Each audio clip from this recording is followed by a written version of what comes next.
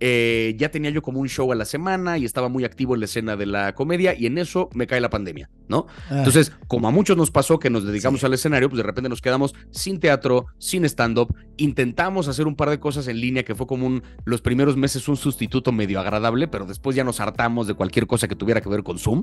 Y un año después del encierro fue cuando se me ocurrió subir a TikTok un video haciendo una observación, ni siquiera recomendación, haciendo un chiste alrededor de una película. Ese video al día siguiente, para mi sorpresa, no te digo que viralizó a los millones, pero yo, yo estaba acostumbrado a que mis videos tuvieran 300, 400 views y de repente subo una madre que tiene 250 mil reproducciones. ¿Qué? Dije, ok, esto hasta pensé que era un error de la aplicación. Yo dije, Sí, algo aquí anda mal. Transversal, un podcast de alternativa. Para todos los que nos están viendo en Revista Alternativa, en nuestro podcast transversal, estamos con Javier Ibarreche. Él es TikToker, es actor, también le gusta el stand-up comedy. Es una persona que es muy reconocida en las redes sociales, sobre todo en TikTok, porque tiene 10.7 millones de seguidores. Pero antes de todo eso, maestro de español.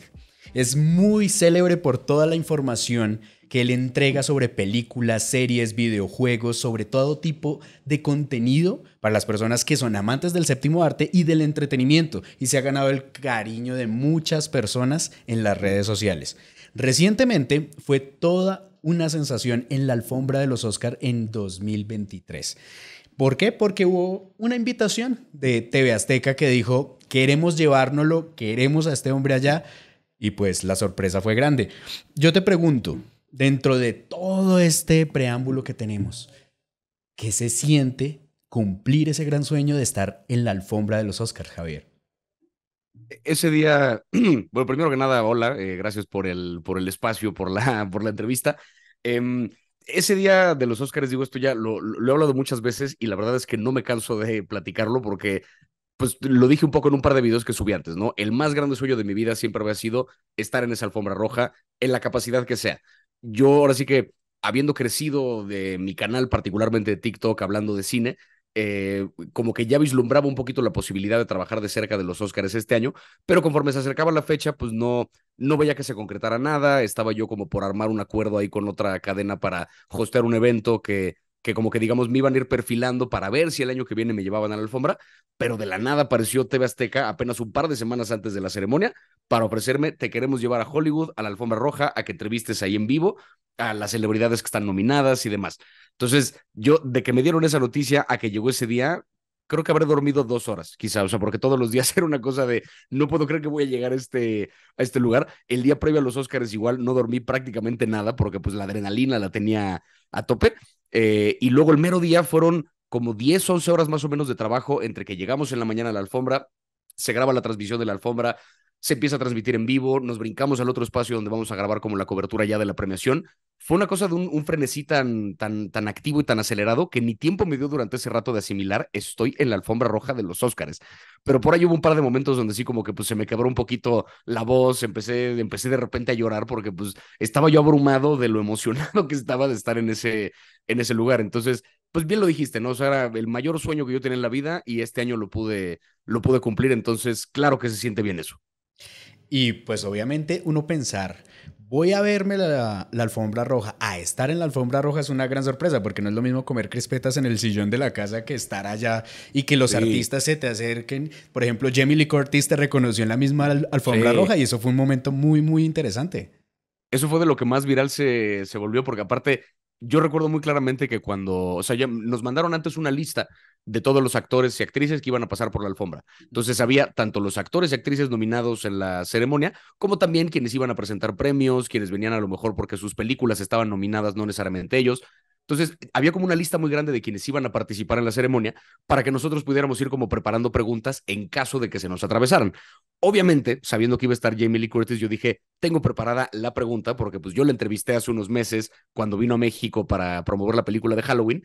Entonces, en esa entrevista que le hice para Halloween, yo me acuerdo que le pregunté eh, como su relación con este personaje y cómo, cómo vive ella el hecho de que la gente lo ubique por Halloween. Y ella me dijo que pasa una cosa muy curiosa, que me habló un poco de su mamá, que pues es la actriz de la famosa escena de psicosis, ¿no? De Alfred, Hitch de Alfred Hitchcock, que pues la escena de la ducha, que es quizá la escena de terror por excelencia en la historia del cine, pues ella es la mamá de Jamie Lee Curtis. Entonces ella me platicaba que su mamá, no importa cuánto hizo en la carrera, no importa que ella cantaba, bailaba, actuaba, tuvo fundaciones, hizo una bola de cosas, siempre fue recordada, o sea, cuando murió, en el obituario aparecía en el periódico, actriz de psicosis, muere, no sé qué. Entonces Jamie Lee Curtis me dijo, yo tengo muy claro que no importa lo que pase, True Lies no importa, Everything Everywhere All At Once no importa, no sé qué. Dijo, yo siempre voy a ser recordada como Halloween actress Jamie Lee Curtis. Total, el día de la ceremonia de los Oscars, pues está, por pasar por la alfombra, yo le quería preguntar, porque en ese inter de esa primera entrevista que le hice a la alfombra, fue cuando salió de repente las nominaciones a los Oscars, que la película de todo en todas partes estaba nominada a todas las categorías, se volvió un fenómeno, se volvió un éxito en taquilla. Entonces yo le quería preguntar, no sé si recuerdes, pero yo te entrevisté hace unos meses acerca de Halloween y tú me dijiste esto de tu personaje, que no importa lo que pasaría, siempre sería recordada como la actriz de Halloween. Yo quiero saber si ahora con esta nominación y después de esta noche, sabiendo que a lo mejor ganas el premio, si crees que eso va a cambiar, ¿no? Como un poco si crees que ahora va a ser recordada por esta otra película. Antes de que yo pudiera preguntarle cualquier cosa, esta señora se me adelantó, llega al alfombra y me dice, yo te conozco. Y entonces mi brillante pregunta que venía cargada de contexto y de una bola de cosas se convirtió como en un, pero, y, me bloqueé. O sea, como que tuve un momentito donde como que no supe, empecé a balbucear, no supe exactamente qué estaba diciendo, porque de repente una actriz que terminó ganando el Oscar esa noche me ubicó. No de nombre, a lo mejor me ubicó solamente por el pelo, pero pues tuvo, tuvo como este, este gesto, digamos, de decirme, yo me acuerdo de ti, me acuerdo que me entrevistaste, y se ve que ella es una absoluta leyenda. O sea, ella eh, cuando pasó por la alfombra se detuvo con todos los medios a regalarles varios minutos de entrevista, nadie tuvo que rogarle, nadie tuvo que pedirle, fue la única persona, de verdad, la única celebridad que se detuvo con todos y cada uno de los medios, porque esa es la calidad de ser humano que es. O sea, Jimmy Lee Curtis es una total leyenda. Sí, yo creo que todos la reconocemos y aparte de eso, que pasar de uno cazar la entrevista a que esa persona se acerque a ti y te diga, oye, yo te reconozco y recuerdo que conversé contigo, eso no debe tener precio. ¿No que perdón? No debe tener precio ese tipo de. No, no, eso fue, o sea, porque es una de esas experiencias que, independientemente de, del alcance que haya tenido la ceremonia y del rating y de cuestiones como más técnicas sobre qué tan, qué tan bien le fue, ese es un momento que yo me llevo a la tumba, ¿sabes? O sea, yo en mi lecho de muerte es una de las cosas que voy a recordar de, ah, cuando Jamie Lee Curtis me reconoció. Son esas cosas que, o sea, por mucho que, por mucho que cada, cada vez que me le acerco más a este medio y cada vez que que tengo la oportunidad de estar como en contacto con grandes celebridades, con personalidades de Hollywood, y cuando después me toca a mí que me hagan entrevistas y cuando me toca a mí que me reconozcan en la calle y que haya gente que se pone nerviosa de, de toparme, como que tengo esta sensación rara donde digo, pero solo soy un güey, ¿sabes? O sea, soy un tipo que graba en su casa videos de películas, pero hay gente que se emociona mucho cuando, cuando me conoce. Pienso, la sensación que yo tengo cuando conozco una celebridad como esa es muy similar, pero un poco pone en perspectiva y te das cuenta, pues estas personas que vemos en la alfombra roja absolutamente decoradas y armadas para una premiación, pues son personas también, o sea, también de repente tienen sus momentos donde están haciendo nada, también cagan, también, o sea, es como que son, son gente y ya, ¿sabes? Entonces, como que me gusta poner un poco esa parte en perspectiva, pero con todo y todo, hay una cosa que es, es una mentira, vaya, pero, pero que es una mentira que disfruto mucho, el de repente poner a estas personas en un pedestal y pues sí te generan una sensación aparte. Entonces, aunque Jamie Lee Curtis ahorita a lo mejor se acuerde vagamente de mí como el morro de la alfombra roja, yo la tengo muy presente como una absoluta leyenda de actriz y ese momento, como bien dijiste, sin precio. Y yo creo que todos nosotros la vamos a tener súper presente siempre como no solo la artista de, de, Halloween, sino como un gran referente en la actuación. Pero ahora ya que entramos en esos momentos que vas a enmarcar para contarle a tus nietos o para llevarte a los la tumba o para estar en el epitafio, digamos, ¿cómo es esto de entrevistarse con el todo el team de Oppenheimer, o sea, estar ahí con Nolan, estar ahí con Killian Murphy, estar ahí con todo este equipo y que te empiecen a hablar de tú a tú, o sea, no solo en cámara, sino también off the record. Cuéntame un poco sobre esa experiencia, pues que además es uno de tus videos más vistos, o sea, estamos hablando de 11.7 millones de views en tu canal de La TikTok. Reseña de Oppenheimer, sí. eh, este, precedida solamente por Barbie, que tuvo como 13, una cosa así. Pero eh, no, ese, ese día eh, me acuerdo que meses antes como que me lanzaron ahí la posibilidad de viajar a Nueva York para entrevistar al elenco. Justo esa misma semana era también el evento de Barbie, un evento que hubo aquí en México donde vinieron Ryan Gosling y Margot Robbie. Entonces, un poco me pusieron en este dilema de qué prefieres hacer, entrevistar a los de Oppenheimer o a los de Barbie. Por las condiciones de la entrevista, como que escogí Oppenheimer al final porque con Barbie no iba a ver la película completa, iba solamente a ver los primeros 30 minutos y las entrevistas iban a ser aquí en México, que siempre es maravilloso cuando vienen celebridades aquí a promover sus películas, pero pues esta otra con Oppenheimer era ver la película completa en una sala IMAX, IMAX de adeveras, así según lo que Nolan recomienda, digamos, para ver la película, eh, y era además el viaje a Nueva York. Entonces dije, por toda clase de razones me conviene hacer esto. Metimos ahí como la, como la convocatoria, digamos, para que nos dieran el espacio. Y cuando me confirmaron que sí me iba, pues me puse a investigar como loco. Me leí la biografía de Oppenheimer en la que se basa la película para poder este, llegar como con la mayor información posible.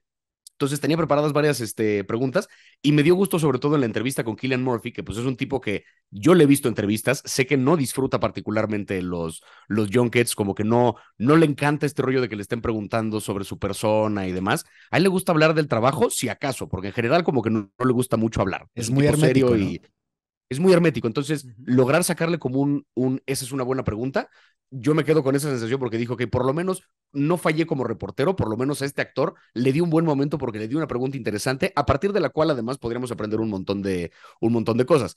Fue eso, la entrevista con Matt Damon y Emily Blunt, un sueño también porque yo sabía que los dos iban a ser grandes personas y no me decepcionaron ni tantito. Cuando entré se estaban riendo de un meme que se estaban mandando y decían como no se lo mandes a Chris, jajaja. Ja, ja. O sea, como algo tenía que ver con la película y estaban cotorreando ahí acerca de eso. Y luego en las mesas redondas eh, me tocó otra vez entrevistarlos ellos dos, entrevistar a Christopher Nolan, que es una presencia imponente, es un tipo serio y metódico, pero se ve que prioriza siempre como su trabajo y tiene como muy clara su visión de cómo quiere hacer las cosas. Entonces fue una entrevista también absolutamente reveladora. Y volví a entrevistar a Killian Murphy, pero esta vez venía acompañado de Robert Downey Jr. Ah. Y hacían un combo bien interesante porque pues Killian Murphy, eh, de nuevo en esta como actitud un poquito más este, hermética que tiene, contrastaba mucho con Robert Downey Jr., que venía en plan Tony Stark. Venía él es carismático 100%. Carismático todo el tiempo. O sea, el tipo tiene muy claro cómo ser celebridad. O sea, me acuerdo que cuando estábamos esperando ahí en la, te meten en, una, en un cuarto, en una mesa redonda, están los varios reporteros y van entrando como por grupos las celebridades. Entonces entran dos, se sientan, 15 minutos de entrevista, se van. Llegan a ese mismo cuarto otras dos, entrevista, se van y llega luego Nolan y se van. Entonces cuando entran ellos, me acuerdo que luego, luego entrando, pues como que se hizo como un silencio, una tensión de, no mames, ahí está Robert Downey Jr. Y él como que rompe la tensión diciendo, ok, última pregunta, cuando apenas lo estaban microfoneando, ¿no? Entonces todos como muertos de risa porque, jaja, qué simpático, Roberto. O sea, un chiste muy estúpido, pero como que llega en este plan de cotorrear luego, luego, que como que abra una conversación mucho más rica. Y como no hay cámaras de por medio, como solo está el audio, también fue una entrevista mucho más fluida porque se sintió como esta frescura de solo estamos hablando. Y Robert Downey Jr., o sea, tipo muy simpático, celebraba el trabajo de Killian Murphy porque tiene muy claro que se aventó un papel tremendo con esa película. Y él mismo decía, esta es la película más, esta es la mejor película en la que ha actuado en años o quizá incluso en mi carrera. Porque pues él ahora sí que de haberse tomado un break después de haber sido Iron Man tantos años, también él tenía un poco la preocupación de qué tal que ya no estoy acostumbrado a actuar, entre comillas, de a de veras, ¿no? Porque lo que te exige a lo mejor a nivel actoral una película de Marvel, con tanto CGI y con tanto alrededor, es muy diferente que lo que te exige una película de Christopher Nolan, cuando tienes una pinche cámara IMAX en la cara, en un close-up, y tienes que gesticular una bola de sutilezas. Entonces, entonces fue como un día muy fascinante y, o sea, en un solo día platiqué con estas cinco personas que yo decía, ¿en qué momento estoy sentado en la misma habitación que estos personajes como parte de mi trabajo además? O sea, ¿cómo, cómo es esto a lo que me ¿Cómo dedico? no disfrutarlo? Claro, sí, sí, sí, o sea, como que incluso son de esos momentos que se sienten irreales que dices, en cualquier momento voy a despertar y, y, ya, ¿no? Se acabó. Sí. Dentro de esa experiencia que tuviste con estos cinco grandes personajes en esa entrevista, ¿qué es ese momento que tú dices, este es desmarcar? O sea, algo que definitivamente rompió la entrevista algo que definitivamente rompió la entrevista. Me acuerdo muy puntualmente de, porque fue como el momento que sentí más, más humano, más de, más de cotorreo así entre, entre todos, fue cuando eh, alguien le preguntó eh, a Killian Murphy que qué tanto había aprendido como de mecánica cuántica para propósito de la película, ¿no? O sea, qué tanto sabía como de la ciencia, digamos, en la que era experto Oppenheimer. Y Killian Murphy contestó algo así como de, no jodas mecánica cuántica, o sea, entendí lo que pude, pero pues yo en tres meses no voy a dominar una disciplina que estas personas pasaron una vida entera tratando de conquistar, ¿no? Entonces, no es que sepa yo de mecánica cuántica, entendí dos, tres cosillas que me explicaron para poder hacer el personaje, pero yo me concentré en hacer el personaje. Como que estaba siendo humilde con su respuesta, estaba tratando de dar a entender el, no quiero menospreciar esta ciencia, no quiero que de repente hacer como esto, eh, no sé, un actor que actúa de médico y ya cree que sabe de medicina, que es no, esto lleva una carrera de por medio y lleva una bola de cosas más complicadas. Entonces, eh, como que estaba siendo humilde con su respuesta y Robert Downey Jr. lo interrumpe y dice, perdón, esto de acá ya ni siquiera es humildad británica, es negación irlandesa. O sea, como tienen idea del trabajo que se aventó este güey y empieza a describir todo el trabajo que se aventó Killian Murphy. Decía, se aprendió ecuaciones carácter por carácter para escribirlas en el pizarrón, así como las ecuaciones tal cual que puso en su momento Oppenheimer se las aprendió carácter por carácter para poder recrearlas mientras trabajaba en esta concentración en el personaje y tal. O sea, Robert Downey Jr. como que a partir del chiste llegaba a celebrar el trabajo de su colega y como que una vez más rompía la tensión y nos reíamos y luego él retomaba la respuesta con otra cosa sobre su personaje, como que se sintió como una conversación muy, muy íntima y yo estoy seguro que ni Killian Murphy ni Robert Downey Jr. se acuerdan puntualmente de mí. Al final éramos varios reporteros, fue una conversación de 15 minutos, pero para mí fue un momento muy inolvidable porque de repente es un estoy en la misma mesa cotorreando, no entrevistando, no tal, estoy cotorreando, estoy aquí platicando en un plan así, casi, casi amistoso, con Iron Man y con Tommy Shelby. O sea, ¿qué es esto? Si no, no tenía ningún sentido que de repente así, o sea, no sé, como que es una sensación muy rara de repente ver en persona a estas, esta gente que has visto tantas veces en pantalla, es un poco eso. Tú sientes que los conoces a pesar de que ellos no te conocen a ti. Y el hecho de que hubiera como esta facilidad de convivencia, a mí me dejó pasmado. Además de que esta gran muestra de humildad también y esta muestra de respeto desde Robert Downey Jr. hacia Killian Murphy. O sea, él no es Tony Stark que aprendió física cuántica en una noche, pero sí hizo la tarea de que me voy y voy a hacer todo el proceso para que sea lo más verídico posible. Y eso es genial. O sea, realmente se ve el respeto entre estos artistas. Ahora, digamos, vámonos para la otra vertiente ya digamos que nos comentaste un poco entre como la diatriba, como esa balanza que teníamos entre Barbie, Oppenheimer o el, el Barbenheimer, como lo llamaron en todas partes. Sí. Pero dentro de eso, digamos, se habló también mucho de que Barbie no era una película para niños ni para niñas. Es más, digamos que, bueno, sí, para mujeres, pero ¿qué trasfondo o qué profundidad o qué mensaje realmente trae esa película? ¿Tienes una lectura sobre ello que nos puedas compartir? Sí, yo no sé si diría que no es para niños o para niñas. Yo creo que es un poco. Depende completamente del niño o de la niña en cuestión, ¿sabes? O sea, creo que eh, lo, que sí, lo que sí podría decir, digamos, de esta lectura, poniendo en un plano un poco más general, creo que efectivamente no es una película para todo mundo. Porque como funciona, digamos que la película podemos dividirla como en dos grandes capas. La capa que tiene que ver como con el aspecto técnico de la trama, de cómo opera el viaje del personaje en un arco aristotélico, así de cómo se mueve. Y por otro lado, el mensaje que, que de algún modo está promoviendo la película. Creo que a nivel mensaje me parece una película absolutamente exitosa porque deja muy claro qué es lo que tiene que decir. O sea, no, eh, ¿cómo decirlo?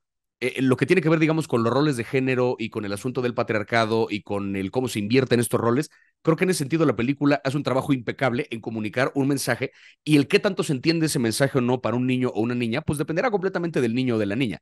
O sea, yo a los 13 años, a los 12 años, a lo mejor yo entendía cosas que la generación anterior no hubiera entendido a esa edad. Y yo estoy seguro que un morro de 10 años ahorita entiende una bola de cosas que yo a esa edad no hubiera entendido, porque la realidad es otra, ¿no? Habiendo crecido con tal acceso a la información, habiendo crecido en un mundo tan politizado, yo no sé qué tanto van a entender o no, puede que bastante. No, que los niños hoy en día nacen con esto en la mano. Claro, puede que una niña de 10 años vaya a ver esta película y entienda perfecto lo que va el mensaje y como que se haga de una bola de ideas políticas interesantes a partir de lo que propone Greta Gerwig. A nivel de cómo opera la película, a nivel técnico de trama, ahí es donde yo creo que la película, digamos, hace un mejor trabajo con el mensaje que con su trama, creo yo. Creo incluso en un momento que el mensaje supera a la propia película y creo que era parte de la intención de Greta, ¿no? Que es un, aquí lo que te estoy, digamos, comunicando son estas ideas a partir de este vehículo que funciona como esta historia. Hubo, me aventé hace poco un video ensayo de una, una youtuber que se llama Broy de Chanel, que eh, hizo como un breakdown así de media hora de toda la película, hablando tanto de los mensajes como del cómo opera la trama. Y ella hablaba de cómo eh, eh, empieza como con un pequeño sketch donde ella habla con su doctor diciéndole, doctor, es que tengo un problema porque tengo muchas ganas de estar emocionada por Barbie, pero nomás no lo logro. O sea, no estoy logrando como conectar emocionalmente con esto. ¿Hay algún problema conmigo que estoy? Y el, y el doctor como que le, este, le diagnostica, ah, tienes este cinismo. ¿no? O sea, como que esa es la, la, condición que le detecta. Entonces ella habla un poco de por qué siente como este cinismo con respecto a la película y hay una conversación bien interesante que tener ahí también, que es no perder de vista el hecho de que Mattel le encargó este guion a Warner y a Greta. ¿no? O sea que es una película directamente patrocinada por la empresa que fabrica y que a estas muñecas. como esa facilidad de que ellos pudieran burlarse de la misma Mattel. Claro, y es, y es justamente ahí donde esta mujer señala como un par de cosas interesantes, que es, señala como un poco sacado del playbook de Disney, Mattel se burla de sí mismo desde un lugar bien seguro.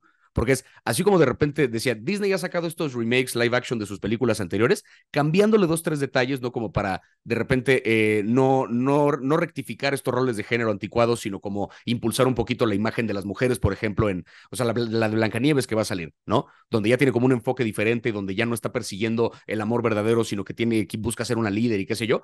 Es un poquito Disney como lavando su propia historia, como diciendo, miren cómo soy parte de una causa noble, borrando un poco el hecho de que tienen películas bien problemáticas donde hablaban, o sea, hay una película de un esclavo feliz, así que es como, o sea, Disney tiene una, un historial problemático porque pues es una empresa que tiene 100 años. Sí, es como, como que se ha lavado un poco, poco la realidad un poco y dibujarla en un toque de fantasía que ya a un punto ya no encaja. Exacto, y entonces ahorita como que tratan de lavar un poco esa imagen. Lo que esta mujer apuntaba era que Barbie hacía más o menos algo similar, pero con Mattel, donde Mattel, teniendo también una historia problemática, más allá de parte del consumo del plástico y de las condiciones en que se fabrican las muñecas y demás, tenía que ver un poco con, es una empresa que, digamos, lleva un buen rato sin ser vigente. ¿no? Hay una realidad en la que ya durante los últimos años, eh, una, toda una generación de niñas particularmente ya no han comprado Barbies por varias razones. Una tiene que ver con los motivos que señala la película, que son motivos políticos, ¿no? Donde una niña a lo mejor de repente dice, yo no quiero estar celebrando este estándar inalcanzable de perfección comprándome una muñeca, prefiero hacer otra cosa. Pero también hay una realidad que creo que va un poquito más allá, donde es la razón por la que no han comprado Barbies es porque tenemos bastante más que hacer aquí, en un teléfono, ¿sabes? O sea, estás compitiendo contra un mundo digital que no hay manera de que un juguete le pueda ganar a eso. En general los juguetes se han vendido acceso a la información, entretenimiento, juegos, relaciones sociales, o sea, todo. Entonces, un poco lo que hace Mattel es decir, la única razón por la que la gente ya no juega con Barbie es por esta razón política, porque ya ven a Barbie como una figura anticuada. No se meten jamás con el rollo digital. ¿Qué es lo que hace la película? Invierte un poco ese rol, donde de repente dice, ¿se acuerdan de Barbie? Miren cómo ahora es un ícono de todo lo que está bien, ¿no? Ahora es un ícono del feminismo y de, y de, una, de la celebración, digamos, de la mujer desde un lugar como más complejo, desde el fuera del patriarcado. Entonces, y Mattel, lo más malvado que hace durante la película es tratar de meter a Barbie en una caja, pero por lo demás, Mattel como tal no es una empresa malvada, solo son medio idiotas. Entonces, es una forma muy conveniente en la que Mattel se burla de sí mismo sin realmente meterse en un problema. O sea, lo que mejor logra la película, creo yo, es lavar la imagen de Mattel. Antes de empujar una idea, antes de construir una trama, tiene que ver con lavar la imagen de la empresa que la patrocinó. Entonces, un poco lo que apuntaba el ensayo de esta mujer, y que creo que coincido sabiéndolo en retrospectiva, es un poco lo que me pasó. Me costó trabajo ver más allá de eso. Si bien es una película bien lograda en toda clase de sentidos, con sus pormenores como lo tiene cualquier película, pero por, pues en general es muy bien lograda, hay una parte en la que no dejo de pensar, Mattel me está alimentando de un anuncio para que yo piense que son una buena empresa. Esa es la parte que como que costó trabajo. Entonces creo que es una discusión que, que se tuvo poco. O sea, el hecho del involucramiento de Mattel en esta película, como que dimos por hecho el, ah, Mattel es una empresa buena. Pues es una empresa multimillonaria. En general esas no están hechas así que digas de pura bondad, ¿no? O sea, poniéndome un poquito comunista en este, pero, pero, pues sí, o sea, es, es, un poco la realidad. Entonces, no sé, creo que es un discurso más complejo el que, el que se pudo haber tenido en torno a esta película, pero sí es una cosa histórica que Greta haya logrado ese nivel de taquilla en una película dirigida por una mujer que haya, le haya dado la vuelta a esta propiedad intelectual, que no haya sido ni secuela, ni reboot, ni película de superhéroes y que haya logrado ese nivel de poder en taquilla hay varias razones por las que sí vale la pena estar emocionado por Barbie, que creo que trascienden un poquito a la propia película. Pero te digo, es una discusión mucho más compleja. Sí, es que fue como un cambio entre la visión plástica a lo aspiracional dentro de la misma imagen de la película. Ahora entrando también un poco en los temas de cómo estamos cambiando perspectivas a la hora de consumir los contenidos y de ver el cine y de como ese preámbulo, esa preparación antes de uno estar viendo un contenido, digamos, digamos, series, cine y demás. ¿Cómo crees tú que ha transformado todo este tema de las redes digitales, digamos, desde tu contenido, la forma de contar las películas y de desarrollar esos análisis que brindas sobre los contenidos? ¿Cómo crees que ha transformado eso dentro de lo digital versus lo que son, digamos, las plataformas tradicionales, lo que es la misma televisión? Ahí, eh, híjole, señalas un par de cosas que creo que son interesantes. Eh, por un lado está el hecho de que, eh, digo, estamos en el contexto de una huelga en Hollywood, ¿no? Una huelga que tiene que ver justamente con la distribución de las ganancias hacia quienes realmente trabajan las películas y las series. Todo el tema de SAGAFTRA. Todo el tema de SAGAFTRA y de la WGA, que es el Writers Guild este, of America, que pues también están en huelga desde mayo, ¿no? Llevan ya varios meses. Es una huelga que tiene Hollywood parado y que por lo mismo no ha habido entrevistas, promociones de películas, se han seguido estrenando cosas, pero dentro de unos meses se va a empezar a ver la escasez de contenido si esto no se resuelve. Pero, digamos, la última vez que ocurrió como un cambio así de grande en la industria fue justamente con el surgimiento de la televisión. Antes era muy claro que pues cuando se ganaba dinero era cuando la gente compraba un boleto para ver una película en una sala de cine. Cuando de repente se empiezan a transmitir cosas en la tele era, pero ¿cómo cobramos esto? O sea, ¿de dónde sale dinero para esto que la gente está viendo gratis? Ah, pues se implementa todo este sistema de anuncios, publicidad, la publicidad es la que mantiene a la televisión y el sistema, digamos, más o menos funciona durante un buen rato hasta que llegan los VHS. Entonces, esa fue como la siguiente gran disrupción que hubo, pero también era una, era digamos como fácil de resolver porque pues es un, ok, si se vende una copia del VHS, pues te toca un porcentaje a ti escritor, un porcentaje a ti actor y ya está. Esta siguiente gran revolución que tiene que ver con el streaming no solamente es diferente por el hecho de que el consumo de streaming es mucho más barato que el consumo de series en cualquier otra época de la historia. O sea, hoy en día es más barato ver televisión que en cualquier otro momento. Por mucho que las plataformas cuesten, yo tengo que pagar a lo mejor 200 varos al mes y tengo acceso a más televisión que la que yo tendría si hace 10 años me compraba el box set de una serie por 2000 varos. No, y el tema de la maratón, o sea, es el consumo de tener todo el contenido en el mismo momento y que tú puedas tomarte un solo día o un fin de semana y consumas tu serie favorita en una sentada. Correcto. Entonces, hay todo un tema de cómo se van a distribuir esas ganancias, donde está la teoría de que a lo mejor las plataformas, y ni siquiera es tanto teoría, es un poco cierto, de que las plataformas no han ganado tanto dinero como solían ganar los estudios hace unos 20 años. O sea, sí hay una crisis real donde como que el streaming es una cosa más barata que les está ahorita perjudicando porque pues ya empieza a explotar esa burbuja. Pero aparte hay un tema bien interesante, volviendo un poco a lo que mencionabas, donde el streaming ya no solamente está compitiendo con otras plataformas, está compitiendo con el contenido que uno crea en casa. O sea, cada minuto que yo paso viendo un video de una persona que grabó en su celular en cinco minutos, hablando de lo que sea, hablando de qué pedo con estos limpiadores de lentes, esos cinco minutos que yo pasé viendo ese video de limpiadores de lentes son cinco minutos que no le invertí ni a Netflix, ni a Amazon, ni a Paramount, ni a Apple, ni a ninguna. No, o sea, son cinco minutos, digamos, que ya le dediqué a otro contenido. Y ese contenido, producirlo fue mucho más barato que producir cualquier minuto de televisión en cualquier plataforma. Entonces, también hay una realidad en la que si la gente está buscando entretenimiento, ya no necesariamente tiene que pagar por una plataforma, puede descargar una aplicación como lo es TikTok y darse rienda suelta. Y así como antes cambiábamos de canal en la tele a ver qué se nos aparecía, ahora cambiamos de canal en TikTok a ver qué se nos aparece, con la diferencia de que el contenido es más breve y que lo vemos desde el principio. No, y es fuera un poco más interactivo. De hecho, tú puedes dejar tu comentario, puedes compartir, puedes, eh, digamos, e-, ese cotorreo que se da entre amigos. mira esta serie, mira este contenido, mira este video, ¿no? O sea, digamos, por ejemplo, yo soy muy, muy fan o muy consumidor de tu canal, porque me gusta mucho el tema de las reseñas resumidas con un toque de humor y que sean frescas, porque muchas veces el lenguaje técnico de pronto como que no encaja cuando uno lo que quiere es entretenerse. Claro. Pero en ese sentido, yo te digo, Llega el fenómeno Oppenheimer, llega el fenómeno Barbie y estas son demostraciones de, digamos, de los grandes estudios que ellos están para quedarse y para poder competir contra las plataformas. Pero al final de cuentas, estas mismas películas van a llegar ahí. ¿Cómo ves este fenómeno de como ese golpe del cine versus lo que se está haciendo en streaming? Ahí, em, o sea, sí, sí es una cosa que está medio en crisis la, la industria del cine, digamos, del salir de tu casa a ver una película, porque pasan varias cosas. Hollywood le está apostando para tratar de hacer una ganancia segura a películas que cuestan mucho dinero para que generen un montón más de dinero, ¿no? Películas que cuestan 300 millones de dólares esperando que ganen mil millones de dólares.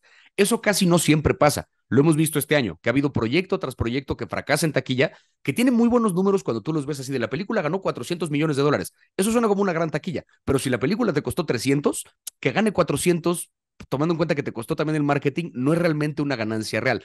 Entonces, el hecho de que le estén apostando estas eh, inversiones solamente es que le están jugando a la segura y ya ni siquiera esa apuesta es tan segura como lo era antes. Casos aislados, como por ejemplo, digamos, a Oppenheimer le está yendo muy bien en taquilla con respecto a lo que costó, a Barbie le fue maravillosamente en taquilla con respecto a lo que costó, pero son, digamos, como casos excepcionales en medio de una realidad en la que la mayor parte de los estrenos un poquito fracasan. Y ahí también Warner de repente toma decisiones raras porque en medio de este frenesí donde la gente sigue yendo a ver Barbie y siguen comprando productos rosas para vestirse de rosa para ir a ver la película, la van a estrenar en cosa de un par de semanas en plataformas de streaming. Es como, pero ¿por qué te harías eso? O sea, tu película sigue vendiendo boletos, ¿por qué vas a matar eso para que la gente la pueda ver en casa priorizando tu plataforma? O sea, como que el sistema no tiene sentido. Antes había que esperar bastante más tiempo de que una película estrenaba a que la podíamos ver en plataformas. A veces Ahora, hasta un año. desde la pandemia sobre todo se aceleró el que una película estrena y al mes ya la puedes ver en tu computadora. Entonces, ¿por qué voy a gastar en un boleto de cine cuando puedo esperarme tantito y verla cuando salga en streaming? Entonces ahí solitos como que se están un poco metiendo el pie, pero también entienden que no pueden tener a la gente esperando mucho tiempo, porque nuestro span de atención también es más breve. Entonces, si pasa un año de que sale Barbie en cines a que sale en HBO, ya va a perder un poco el hype. Entonces, cuando salga la gente, a lo mejor no va a tener el mismo nivel de emoción por verla y no va a generar tantas suscripciones, que creo que es a lo que le toda la cantidad de spoilers encima que vas a tener después de ese Además, tiempo. Además, porque la película obviamente va a haber análisis en redes sociales y gente que te platique de la trama, que te cuente la película. Toda la experiencia que hay como alrededor de digerir y masticar una película ya existe en redes al día de que salió. Entonces, si ya viste la película o ya te la platicaron, pues como por qué te vas a esperar a verla en streaming o por qué vas a pagar un boleto. Están en una crisis muy particular donde creo que las redes sociales tienen todo que ver. Y también Sí. tiene que ver el cómo lo fácil que se politiza luego el contenido. Caso ejemplo también el de, el de Barbie, que de pronto se convirtieron como en dos grandes bandos donde había una generalidad de o la amaste o la odiaste, o no la Sí. entendiste o te encantó. Eres Greta Gerwig o Ben Shapiro, que es una, espérate, o sea, tiene que haber un rango en medio, no tiene que haber como una, tiene que haber posibilidades más complejas en medio de ese rango. No, no, no, huevo, tengo que escoger uno de estos dos bandos, puedo estar en algún Sí, o sea, interesante- denos un respiro porque nos tenían que polarizar en todo tipo de temas. O sea, esto es algo trivial. En todo. Y que aparte la película, o sea, las películas que salen con un plan así de político están diseñadas para eso. Están diseñadas para generar, o sea, una película, digamos, acusada de ser muy, entre comillas, progre, está diseñada también justamente para, para hacer enojar al- a los conservadores. Entonces los conservadores salen a armar su contenido acerca de por qué la película es una mierda y no deberían verla y es una falta de respeto y es antihombres y no sé qué. Esto está diseñado porque entonces todo ese contenido donde los conservadores se encabronan y no van a ver la película, hace que la gente que está en contra de esas ideas diga, aunque la película no me encante, la voy a ir a ver siete veces nomás para cerrarle el hocico a este conservador. Entonces, o el otro e- escenario eso- en el que sales de la película de Barbie y tú dices, no, ok, yo no la voy a ver, ok, me voy a la sala de la donde están dando Oppenheimer. también. Entonces te digo, como que está un poco diseñado también para que haya una conversación política de por medio. O sea, a Warner no le importamos, a Mattel no le importamos. Les importa su bottom line, les importa generar ganancias. Eso si es esa discusión que pone enojada a la gente les va a generar dinero, que se enojen lo que quieran. Entonces, hay muchas películas diseñadas para eso. Y lo de Oppenheimer, pues ahora sí que se vio mezclada con la narrativa de Barbie, porque Nolan, que es un güey que no suele tener protagonistas mujeres y que cuando tiene personajes femeninos, como que se dice, no, o sea, no, hay no, no todo el mundo está de acuerdo, pero hay quienes dicen que no la representa eh, fidedignamente. Pues ahora sí que se vuelve toda una conversación donde es la película de los hombres, la película de las mujeres. Y se vuelve de nuevo estas dos como casillas Otra donde es un, o esta o esta otra. Pero ¿por qué? ¿Por qué no podemos tener discusiones complejas en torno a las dos? ¿no? Sí, O sea, claro. O sea, ¿por qué no podemos disfrutar ambos contenidos y debatir sobre ellos? Porque igual al final es entretenimiento. La idea es como Claro. pasar un buen rato y poder tener un tema de conversación con tus amigos o familia, ¿por qué no? Tal cual. Una pregunta que no puedo dejar pasar, porque esta película en específico toca nuestro país, que es Sound of Freedom o El Sonido de la Libertad. Esta película que habla sobre este agente Tim Ballard que hace tres operaciones, llega acá a Cartagena, libera niños y tocan ese tema tan sensible que es la trata con menores de edad. Tuvo un gran hype por un tema de decir, es que esta película está siendo censurada, es que esto no quieren que se vea en Ah, los teatros de la o la estrategia sí, sí. de ver cómo se, que se funcionaba. ¿Realmente esto fue una estrategia? ¿Fue censurada realmente? ¿Y qué impacto puede llegar a tener esta película dentro de las salas de cine que, digamos, el 31 de agosto se estrena ya en nuestro país? Eh, igual, digo, no, no sé qué impacto vaya a tener o no, porque pues eso lo sabremos cuando salga la, cuando salga la película. Yo no la he podido ver precisamente porque no ha salido, o sea, no hay, Sí. no hay manera de verla legalmente en México todavía hasta la fecha de estreno, pero eh, como tal, o sea, la teoría de la censura fue una forma de, o sea, se desproporcionaron todas las noticias muy rápido, ahí te va. La Sí. película se produjo desde 2018, ¿no? La produjo de manera independiente justo Eduardo Verástegui y la gente con la que él estuvo trabajando. Esa película la iba a distribuir, si no me equivoco, Fox. Pero justo por esas épocas fue cuando Disney compró Fox. Y como Disney compró Fox, hubo una bola de películas de bajo presupuesto, entre ellas Sound of Freedom, cuyo estreno se vio afectado porque pues Disney, digamos que tenía otros objetivos y compra una bola de, o sea, compra la empresa completa y entonces empiezan a priorizar qué sí van a estrenar y qué no, ¿no? Pues como pasa con cualquier, cuando dos empresas se fusionan, inevitablemente hay bajas. Y una de ellas fue la de Sound of Freedom. Pasa el rato y entonces los productores de Sound of Freedom logran hacerse de dinero para comprar de regreso los derechos de la película y ahora estaban buscando un estudio que la distribuyera. Fueron, tocaron varias puertas, o sea, sí fueron con Netflix, fueron con Amazon, fueron con varias, que rechazaron el proyecto de la película, no por otra cosa, sino porque pensaron que iba a ser un absoluto fracaso en taquilla y en números y en transmisiones y en todo. Porque era de bajo presupuesto, no le veían como el mayor así potencial para que fuera un fenómeno global. Dijeron, ¿para qué gasto en esta película cuando puedo producir, whatever, temporada 7 de esta otra cosa? Entonces, eventualmente aterrizan en esta plataforma en, una, en un estudio que se llama Angel Studios, que es un estudio mucho más pequeño, digamos, que los estudios de Hollywood como Universal o como todo este rollo. Es un estudio más pequeño, que aparte es un estudio que en general, o sea, lo, lo lleva gente que es conservadora que ahora sí que digo, no tiene nada de malo ser conservador, pero pues es la realidad de este estudio, lo lleva gente que es conservadora y en general que cristianos y de derecha.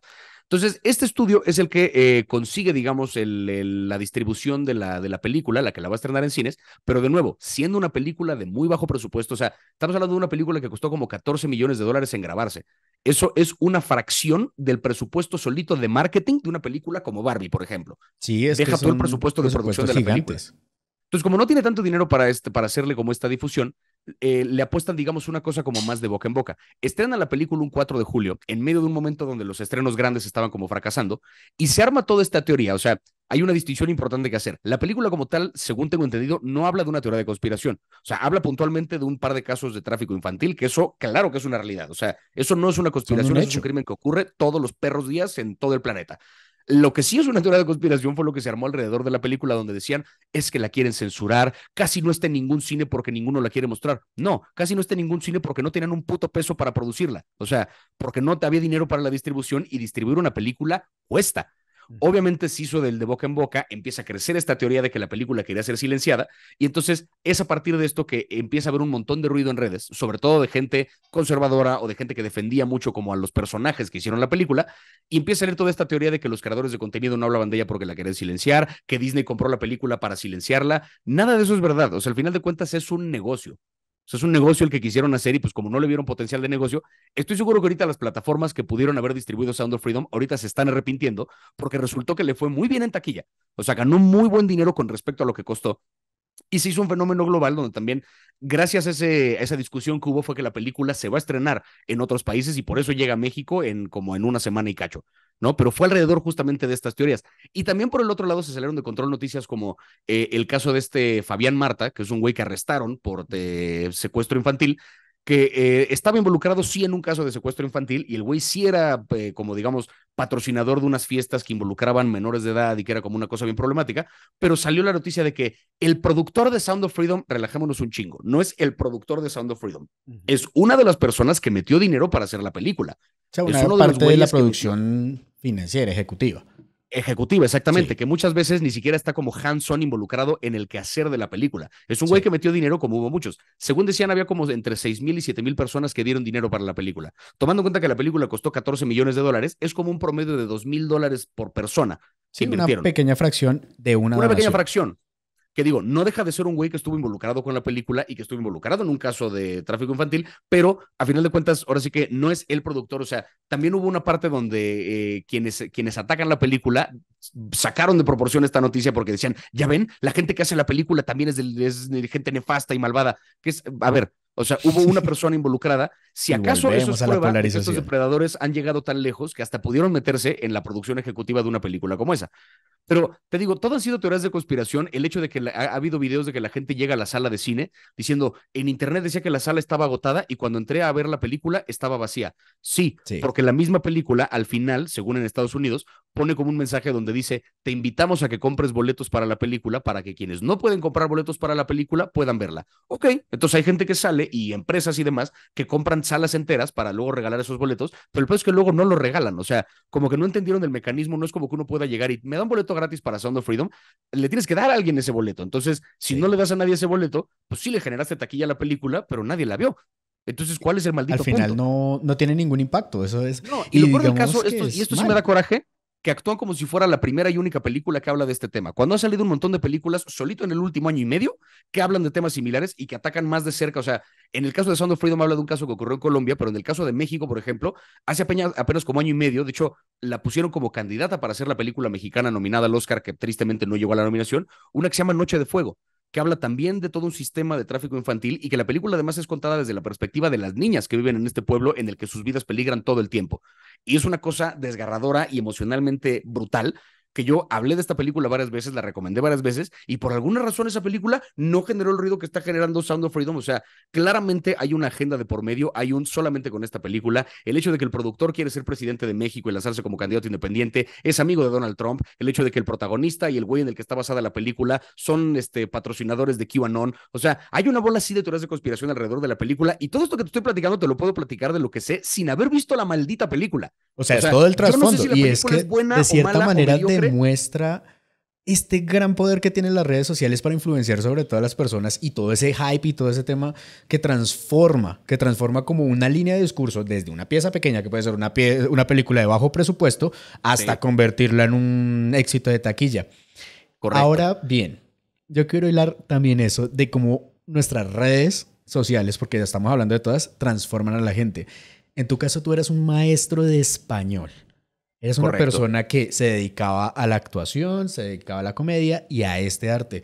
¿Cómo eso influye en tu carrera? ¿Cómo es tu carrera como comediante antes y después de todo lo que ha pasado con este fenómeno de TikTok y pues obviamente pues dar a conocer a nuestras personas que están viendo estos usuarios que están viendo esta entrevista sobre tu arte y sobre esa otra faceta que no está en TikTok sino sobre las tablas, sobre el escenario. Cuéntanos un poco de eso. Pues yo justo ahora sí que desde, desde adolescente yo me formé más que en las redes en el escenario. ¿no? O sea, de hecho yo un poco sentía como este rechazo a las redes sociales en general porque, no sé, como que las veía como una cosa muy vacía, muy banal. Obviamente había creadores de contenido ya desde antes, ¿no? Tanto en Vine como en YouTube, que traían una propuesta diferente, que eran genuinamente divertidos en el lenguaje que les permiten esas plataformas, pero yo como que siempre tuve un rechazo al estar activamente trabajando en redes porque me parecía como vacío. Pero empecé a hacer comedia a finales de 2017, eh, después de varios años ya de dedicarme a hacer teatro, eh, y entonces, mientras yo era maestro de una escuela y estaba yo trabajando como actor de teatro, pues tenía también, quería perseguir este sueño de ser comediante y empecé a perseguirlo activamente aquí en Ciudad de México. Entonces, empezaba a tener yo shows cada vez más seguido y me di cuenta que trabajar las redes era una cosa necesaria porque al final, cuando voy a tener show, pues quiero que la gente vaya al show. Y para que haya gente que vaya al show, tengo que poder venderles un boleto de alguna forma. Entonces, empecé a procurar mis redes sociales básicamente como una forma de mantener, digamos, una base de seguidores y en la medida de lo posible irla creciendo para que cuando yo anunciara un show, cuando yo tuviera una presentación en vivo, hubiera más gente dispuesta a comprar un boleto para ir. Entonces, ahí iba yo como, digamos, con buen ritmo, se iba creciendo mis redes muy, muy lento, pero medio iban creciendo. Eh, ya tenía yo como un show a la semana y estaba muy activo en la escena de la comedia y en eso me cae la pandemia, ¿no? Ah. Entonces, como a muchos nos pasó que nos dedicamos al escenario, pues de repente nos quedamos sin teatro, sin stand-up, intentamos hacer un par de cosas en línea que fue como un, los primeros meses un sustituto medio agradable, pero después ya nos hartamos de cualquier cosa que tuviera que ver con Zoom y, este, y pues me quedé en escenario durante un buen rato. Entonces, durante ese año me dediqué ahora sí que tomé talleres de cosas, me dediqué a ver la tele como nunca en la vida. De por sí siempre vi series y películas. En pandemia, no te cuento. Jugar videojuegos, ahora sí que a medio aprovechar el tiempo que tenía encerrado para, pues ahora sí que trabajarme a mí. Y un año después del encierro fue cuando se me ocurrió subir a TikTok un video haciendo una observación, ni siquiera recomendación, haciendo un chiste alrededor de una película. Ese video al día siguiente, para mi sorpresa, no te digo que viralizó a los millones, pero yo, yo estaba acostumbrado a que mis videos tuvieran 300, 400 views y de repente subo una madre que tiene 250 mil reproducciones. ¿Qué? Dije, ok, esto hasta pensé que era un error de la aplicación. Yo dije, algo aquí anda mal. Pero pues empecé a trabajar ahora sí que a subir otro video y otro video y otro video y veía que los números iban creciendo cada vez más y que la base de seguidores crecía cada vez más. Llegaba más gente a mi Instagram. Entonces, en un principio mi acercamiento a TikTok fue como de fantástico. Ya tengo un lugar desde el cual jalar gente a mis otras redes para que cuando yo anuncie un show quieran caerle al show. ¿No? Ese era como el objetivo al principio.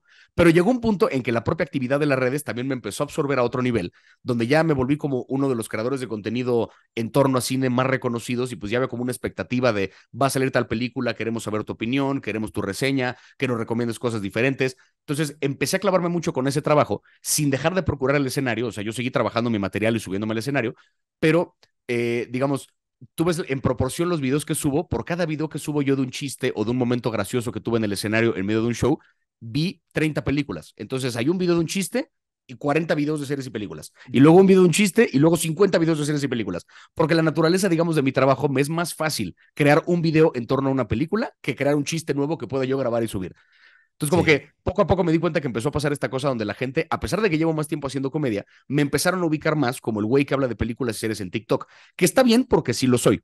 Pero un poco mi intención ahora, con ahora sí que tuve recientemente una gira para despedir mi material y estoy por estrenar mi especial de comedia, es un poco con ese objetivo, que la gente vea esta otra cara de mí, o sea, que se enteren un poco que no solamente soy un güey que habla de series y películas y que no soy un improvisado que de repente dijo, ah, tengo seguidores, voy a hacer stand-up. No, es una disciplina complicada que uno tiene que entrenar, que uno tiene que estudiar, que uno tiene que formarse en el escenario lo más que pueda para poder, digamos, tener un buen nivel. Es desde ese lugar, considerándome ya el comediante profesional que sé que soy, desde ese lugar que voy a estrenar este 9 de septiembre mi especial en mi canal de YouTube. No, y esa constancia tan grande que debes tener para generar ese contenido y además nuevo material para cada show, es que es un esfuerzo bárbaro. Claro, sí, porque aparte, o sea, el material tarda bastante más en redactarse que el que tardo yo en hacer un video de una película. Entonces, este material que conforma este show es material que es como una colección de chistes de los últimos cinco años, porque como es mi primer show grabado, pues quería que fuera como un show especial que juntara lo mejor, digamos, de, de todo lo que llevo haciendo en comedia en estos últimos años.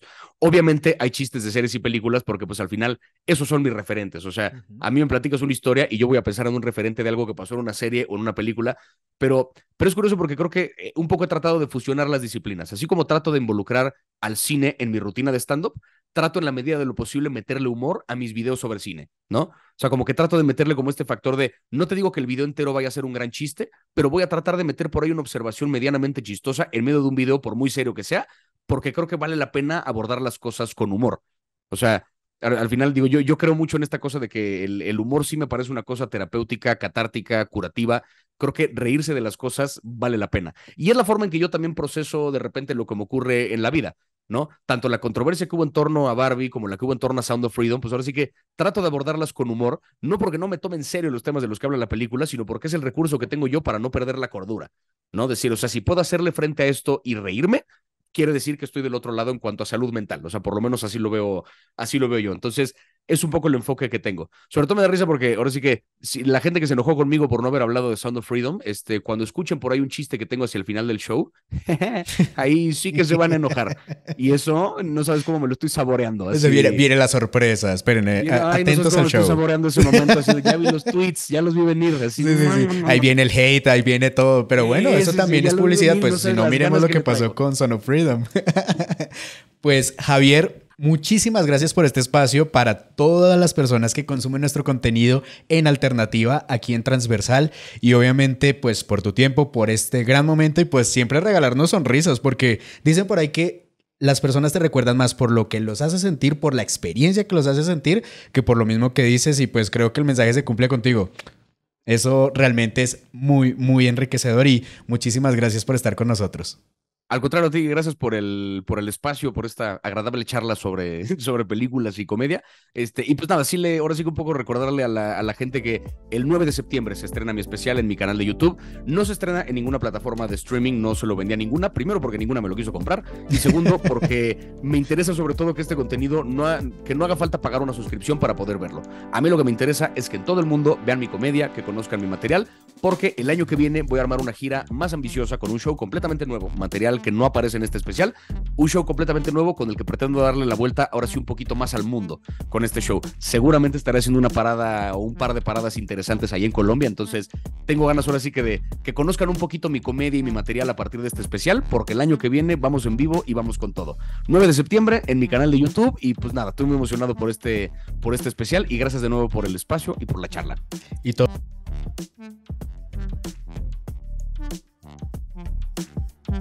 Thank